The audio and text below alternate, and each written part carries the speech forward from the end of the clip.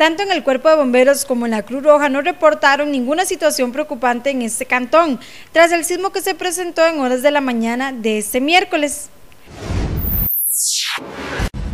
Cela 0843, eh, se siente un movimiento sísmico bastante fuerte.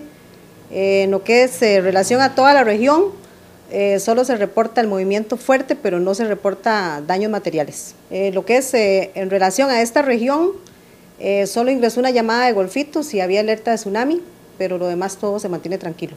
Cuando se presenten este tipo de situaciones, las autoridades de emergencia solicitan calma a la población. Eh, bueno, lo que se le recomienda, a pesar de, la situación que se maneja en esos momentos, es mantener la calma, mantener la calma. Eh, si están en edificios, tratar de evacuarlos.